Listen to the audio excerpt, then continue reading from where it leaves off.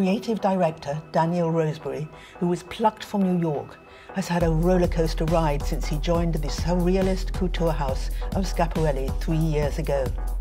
The pandemic shattered his opportunity to show his cleverly crafted designs in real life. But he has turned problems into triumphs. From the designer's bold jewellery to his extravagant accessories, he is making a dramatic statement about high fashion and high jewellery. I am Suzy Menkes and I am here in Paris at Schiaparelli on the Place Vendôme to see the beginning of haute couture. Hi, Suzy. Hi. Hi, how are you? This is a great moment. I um, can't believe it's really happening and that we're looking out on the Place Vendôme. I know. It's the first time I'm seeing you not on a screen in a year and a half. Well, basically. it's the same with me. And But, um, Thank so- you for coming. So, well, it's wonderful not only to see you, but to see some of these wonderful things that you're going to open to the world Yeah. on Tuesday. Yeah, these babies of ours that we've been nursing for the past four months. So I'm very excited for you to see it. So, well, it looks wonderful. But first of all, before I study them, um, I want to talk to you about what you've been doing through Yes. these um, difficult years. Hmm. I mean, you're young and artistic, you're from New York. How did it come to turn out that you're doing this collection for this designer? Well, I'm actually, I moved here from New York, but I'm actually from Plano, Texas, the literal opposite side of the world in a way. When I moved to New York, I started working for Thom Browne, as you know, and that's where I was trained. You were 10 years there, weren't 10 you? years, Yes. just over 10 years, yeah. When I look back at the sequence of events that brought me here, I still can't believe that they all happened because I, when I left Thom Browne, I didn't have a job. I left um, with nothing in the pipeline in a way, but I knew that I needed to take a leap, but I didn't know what that looked like. But my mom told me, leap and the net will appear. So I did.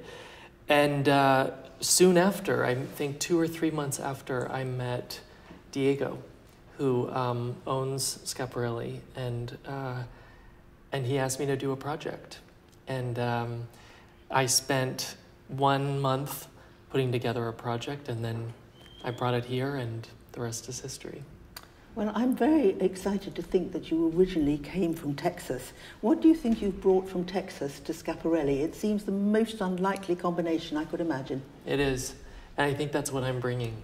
It is the most unexpected um, history I could I could think of in a way. Not only am I coming from Texas, but my childhood was really dominated by the church in a way. My dad was a priest. My brother ended up becoming a priest. My sister married a music minister. So church was really the family business and I I went to a seminary to meet with the dean of the seminary to see if it was something that I wanted to do because I really thought I belonged in the church. And he said, absolutely not. You have to go to New York. So I think that it, it brings a sort of um, an irreverence, maybe, because I feel like an outsider already. And um, I'd like to think that it, it gave me some sort of freedom in a way that I don't feel like I have to play by the traditional rules of couture. You're certainly not going by any of the rules, Right. and nor were you when you went out onto the runway yourself. And in the centre there, Right. you set up, I'm not quite sure how to describe it, you were drawing your drawings of the clothes, Yeah. and you were sitting there and you were being watched by all of us. In those days, before the pandemic, Yeah. um, there were literally thousands of people around there. What was that idea? When I was approached for Schiaparelli, I was unemployed. I was sleeping on the floor of a friend's apartment in Soho. And I spent a month every morning, it was in December, going from my apartment to my Chinatown studio. I had a rickety old Chinatown studio underneath the bridge. And I just had this vision. I said to myself, if I get this job, the first show has to somehow tell this story of this unemployed uh, guy just walking to, through Chinatown designing a couture collection. And one month later, I was here in one of those salons presenting my project on the Place Vendôme. And the, the disparity of the situations was so inspiring. I thought, I really want to show people how this collection was conceived.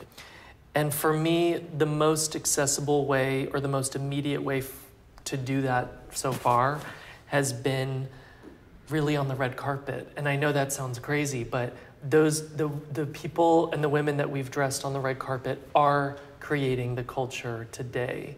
Like we just had Cardi B announce her pregnancy two days ago wearing Schiaparelli jewelry. I know it's not a collaboration with Dali, but it has the same sort of gut punch culturally that I think is is that I think was kind of adjacent to her time in a way. I mean, what about Lady Gaga then? And It- Gaga, it, yeah. It was quite something, wasn't it? Having a, the inauguration, is that what it's called, isn't the it? inauguration, exactly. for the new president. Yeah. And um, I mean, how did you feel when you saw her wearing? I know you knew that she was going to wear them, but it must have been an extraordinary feeling to look and see and think this is part of history, and I am part of it. It, you know, it's one of those moments that you have no idea what it means. It was so overwhelming. And only after, months after, did I really start to understand what a moment it was for the house, first and foremost. Because I think when people write about Schiaparelli today, they're going to write about that moment, and it's something that you'll never be able to escape in a way. But no, it was incredible, really incredible. You've put a lot of work into what you're making, and I'm looking here having a peep ahead Yes. of the um, opening of the um, show, the digital show. Yeah. And we can see a lot of, I don't know how to describe it, a sort of decoration, but it's much more than that because Yeah. everything appears not to be put on from the outside, but to grow from Exactly. the middle of the fabrics and sometimes from the middle of the body. Exactly. Tell me about that technique.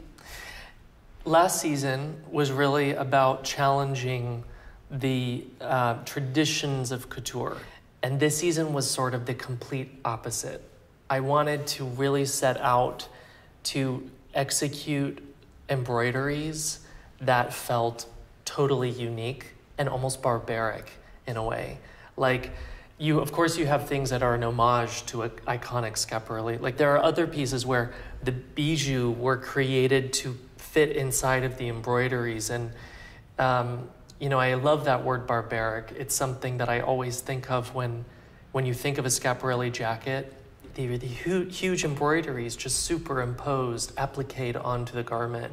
And I love that kind of copy paste sort of sensibility. It's so irreverent and it felt really modern for me. When you say irreverent, it's not true, is it, in terms of the work that's put No. into it? No. I mean, your people here, I don't know how many you have, you can tell me, but um, how long it would take them to do some of these things I'm looking at.